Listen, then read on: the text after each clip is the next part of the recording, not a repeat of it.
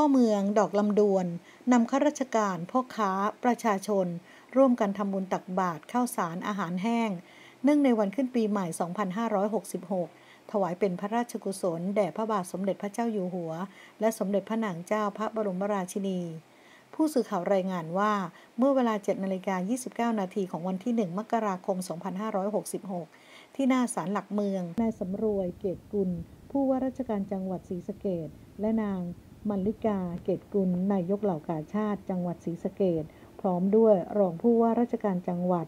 ผู้พิพากษาหัวหน้าศาลจังหวัดศรีสะเกดผู้พิพากษาหัวหน้าศาลเยาวชน และครอบครัวจังหวัดศรีสะเกดหัวหน้าส่วนราชการข้าราชการพ่อค้าประชาชน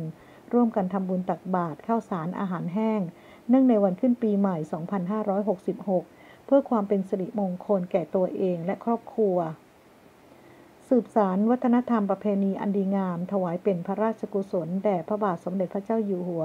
และสมเด็จพระนางเจ้า พระบรมราชินี สมเด็จพระนางเจ้าสิริกิติ์พระบรมราชินีนาถพระบรมราชชนนีพันปีหลวง พร้อมกันนี้ได้ร่วมกันตั้งจิตอธิษฐาน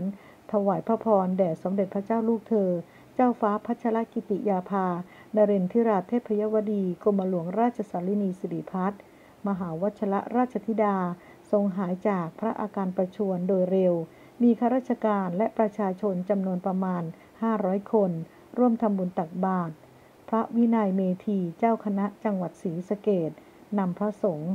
69 รูปออกรับบิณฑบาตวันหยุดยาวเทศกาลส่งท้ายปีเก่าต้อนรับปีใหม่ยังเหลืออีกสองวัน หลังจากทำบุญตักบาตรแล้วประชาชนชาวศรีสะเกดต่างก็ได้ไปเที่ยวพักผ่อน ตามสถานที่ท่องเที่ยวที่มีอยู่ในจังหวัดศรีสะเกดหลายแห่ง บางคนก็เดินทางไปพบปะญาติพี่น้อง มอบของขวัญปีใหม่ให้กันและกัน เป็นการสืบสารวัฒนธรรมประเพณีอันดีงามด้วยค่ะ นิว 24 นัทรชน สิริโชติสกุล ภาพข่าว สุกันวลีสุวรรณรายงาน